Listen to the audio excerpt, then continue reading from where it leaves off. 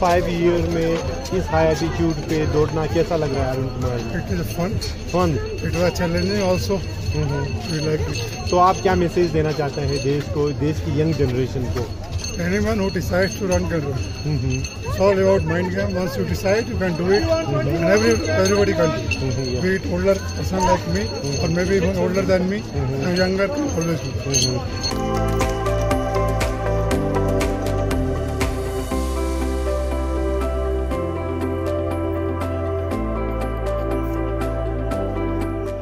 I think everybody should try this out. Mm -hmm. Ladakh is a wonderful place, and to run with these mountains mm -hmm. and in this altitude is not easy. Mm -hmm. Challenging तो बहुत है, लेकिन मज़ा भी बहुत आता है.